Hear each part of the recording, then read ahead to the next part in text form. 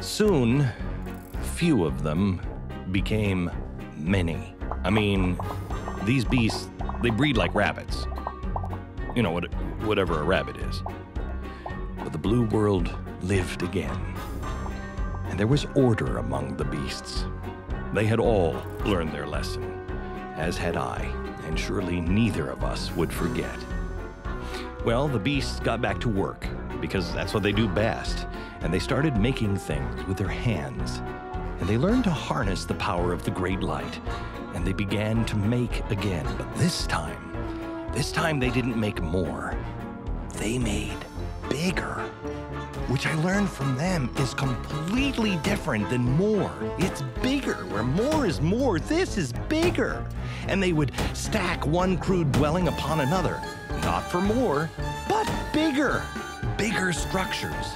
And mankind began to work together, and they began to work together toward one end. Light, I said. Light, look, look. This is certainly the answer because it's not more, it's bigger. These guys are great, wouldn't you say? They were now seeking us, the great light, and me. They were no longer wishing to simply feel the warmth of the great light. They had the answer. They wished to join the great light because they could make bigger.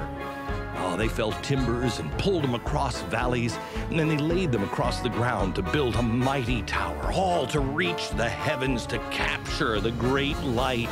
And soon their work stretched beyond the clouds, bigger than that, and they wished to meet me and to thank me and to see the great light equals creator to creator.